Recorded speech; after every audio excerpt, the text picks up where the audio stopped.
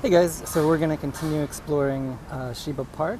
Uh, as I said in the previous episodes, um, it's kind of divided into three major sections. We have over here where the Kofun is, and the pagoda, and the tomb of the second shogun. Uh, and then they have the main Zojoji temple area here. I'm sorry, here. and then over here we have two funerary complexes of later shoguns. and uh, what we're going to look at today is the main complex here. So actually Zojoji itself. And we're actually going to start down here. And uh, this is where Daimon is, or the Great Gate. So let's go take a look. So here you can see a daimyo procession in front of Daimon, the Great Gate. Uh, notice the forested hills in the background, including the Kofun from the last video.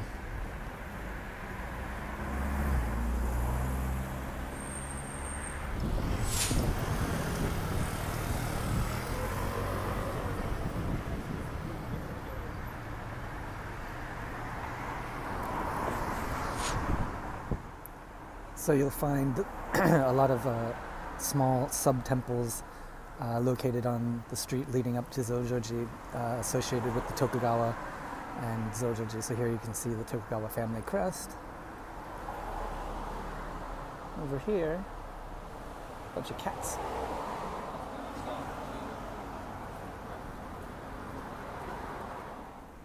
And you can also find uh, these clay walls.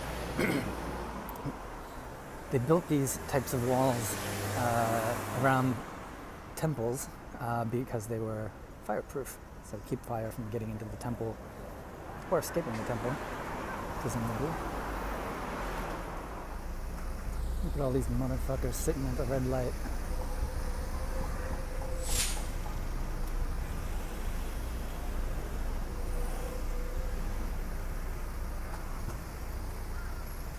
The Sangedatsumon is massive and it's been famous since the Edo period. Oh, and uh, these old-timey lanterns are kind of cool, aren't they? So President Ulysses Grant planted this cedar tree during a state visit in 1879. St. Louis represent, yo! Because I'm from St. Louis. Yo!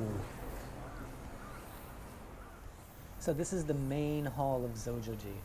Uh, because the entire complex was utterly destroyed in World War II, uh, the temple didn't really recover until the late 70s.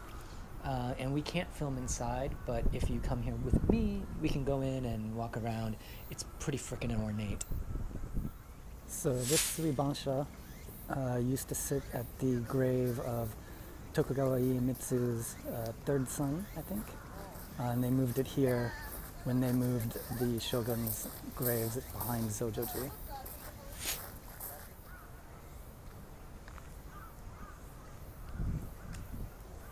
And this bell tower,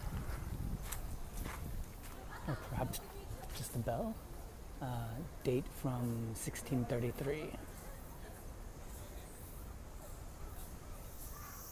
So they built this for Takamura Koun in 1933. He's a famous sculptor. Um, I don't think his body is here, but they put one of his sculptures in here. Um, and they moved this to its current location in 1980.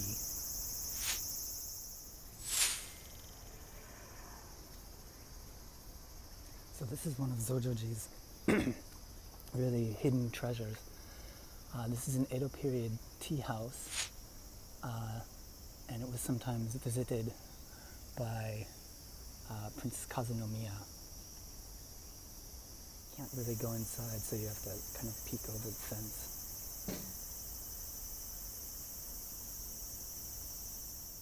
And as you can see here, there are certain days where they do open it and you can come here to do tea ceremony.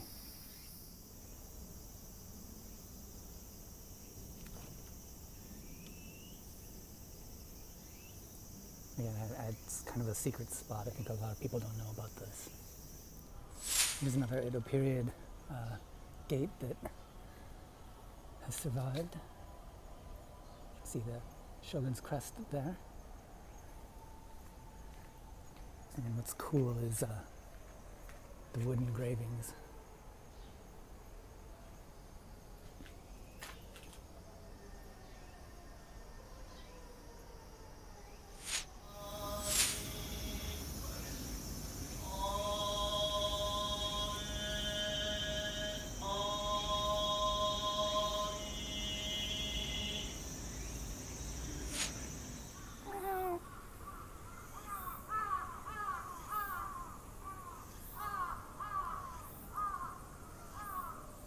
I made some friends. Oh, ooh, your ears. Poor little guy. So this was the gate protecting the grave of the sixth shogun, the boy Tokugawa Ienobu.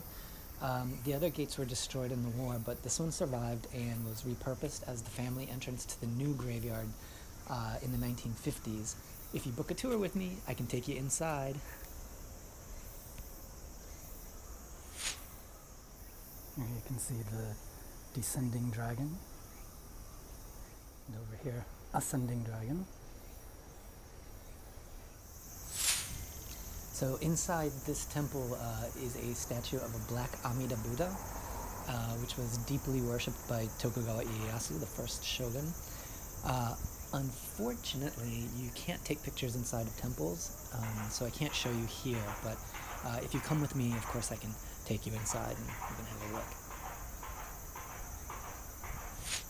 So then there's this garden of Jizo with pinwheels. So these are all dedicated to stillborn children, uh, children who died. They're supposed to help accompany them into the afterlife.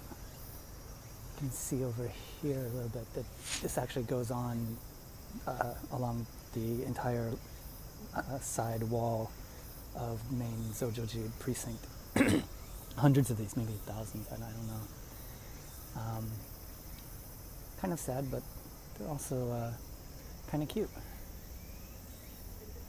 And here are more of those fireproof uh, clay walls or plaster walls. Uh, these are actual Edo period constructions. Um, on the other side of this gate, you can find modern reconstructions.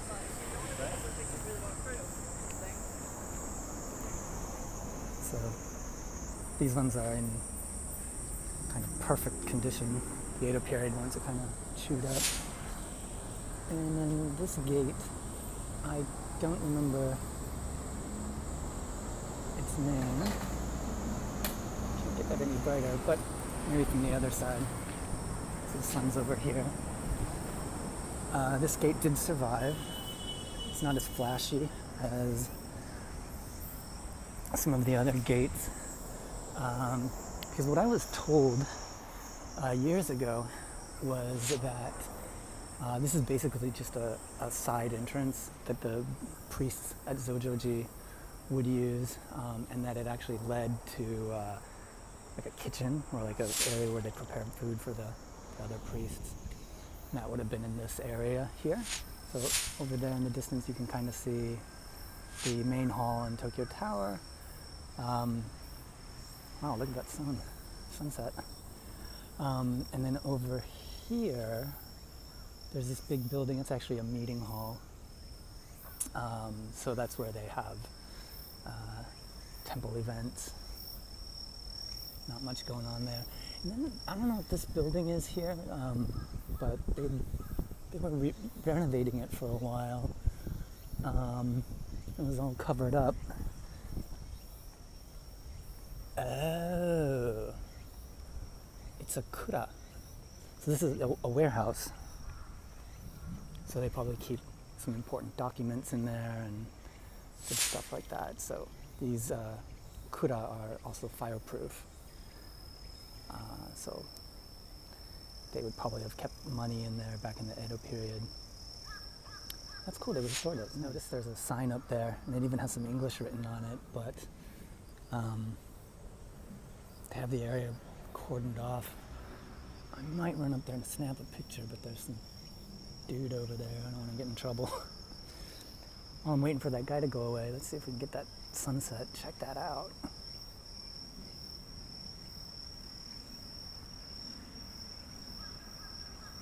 That's sick.